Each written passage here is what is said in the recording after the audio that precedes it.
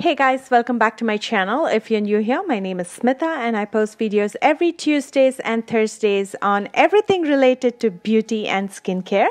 And today I'm going to be showing you this look right here, which is a nude toned makeup look. What's nice about nude makeup is with minimal effort, you can look absolutely stunning, sometimes more stunning than using more colors. In fact, on a daily basis, I prefer nude makeup well, what daily basis? Even to parties, I wear nude makeup.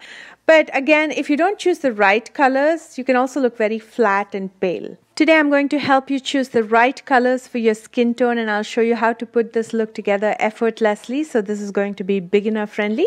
So, without further ado, let's get this started. I'm going to start by perfecting my base. I'm working on my face first because I'm using very light colors in my eyes.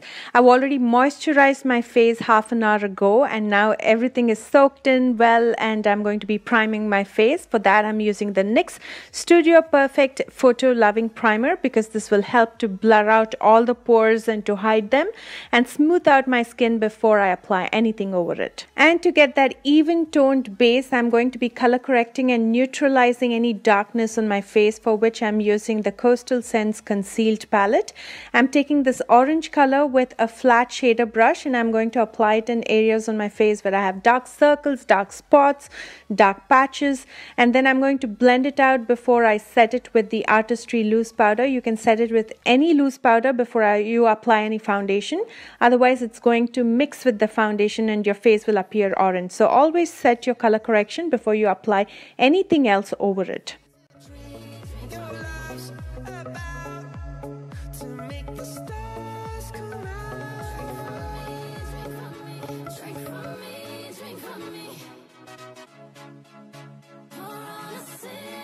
For foundation, I'm using the Artistry Youth Extend in the color Brulee.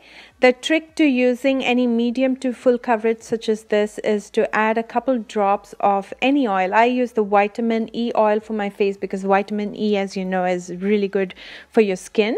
Um, you can use coconut oil, you can use any other lightweight oil, but mix a couple drops with your very thick foundation just to dilute it a little bit before you apply it. That way it uh, goes on smoothly on your face. To conceal and correct any darkness in my face as well as to highlight the high planes of my face, I'm using the LA Girl Pro Conceal in the color Pure Beige.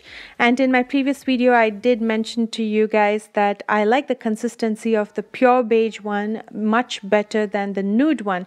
Nude seems to be quite thinner than the pure beige. So after applying the nude color on my face, after a while it starts appearing gray because you can see through it. It becomes almost transparent. So you can see the darkness underneath it. But the pure beige is really thick and concealers have to have that thick consistency. So whenever you're buying concealer, make sure it's thick enough. One, because it has to cover all the pigmentation.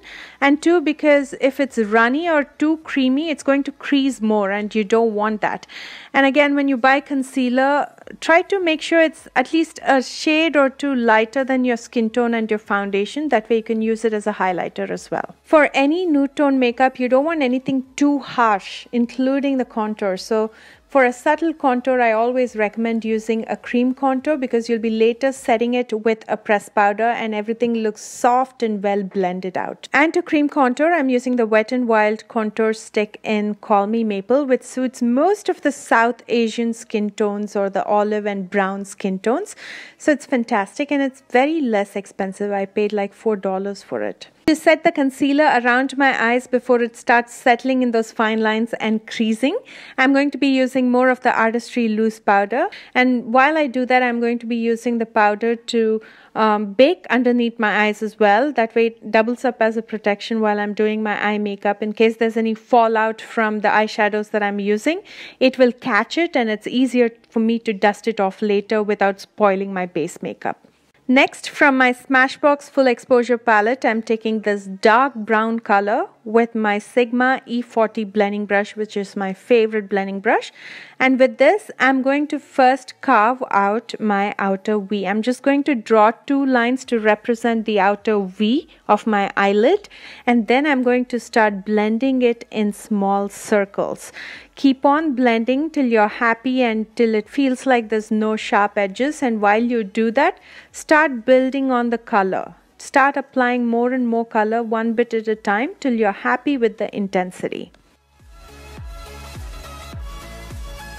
Next, taking this pencil brush, I'm going to smoke the same color out in the lower lash line as well to soften everything up. The formula to choosing the right brown that will complement your skin tone is to always go at least four times darker than your skin tone. That way you can use the color to intensify the outer corner as well as the crease and whatever residue is left in the brush you can use that as a transition color as well. Taking this bone color eyeshadow, I'm going to fill in the inner two thirds of my lid and I chose this color because it goes with any combination and it's universally flattering.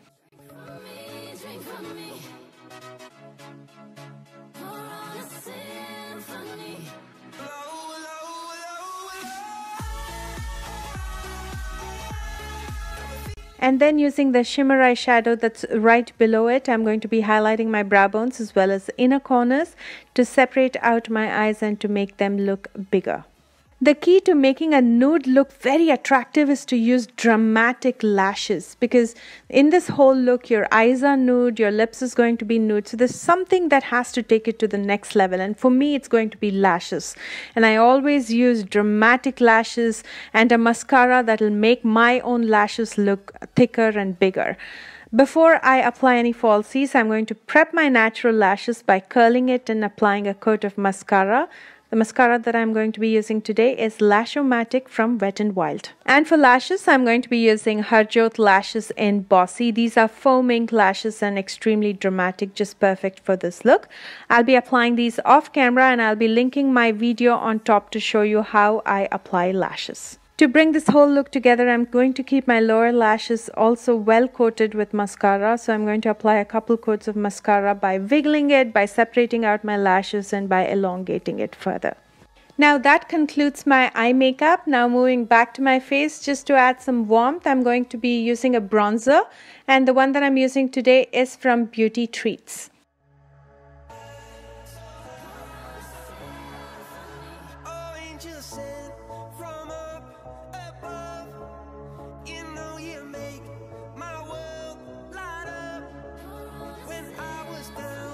And I'm going to be using this half of this color just to add a light hue of rosiness to my cheeks. Nothing too much just a very light brown toned blush. And then for a subtle glow I'm going to be using this highlighter on the high planes of my face when you have a brown skin tone, try to use a nude lipstick with a peach undertone. It looks fantastic. You can never go wrong with it.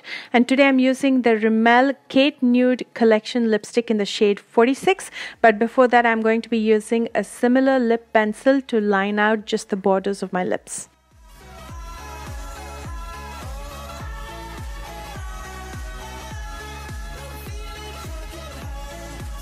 You can leave it matte if you like, but I love a good gloss. So I'll be using some gloss today from Rimmel. This is in Diamond Dust. And look how stunning the shine is. I'm in awe every time I apply this. This is one of my favorite drugstore glosses.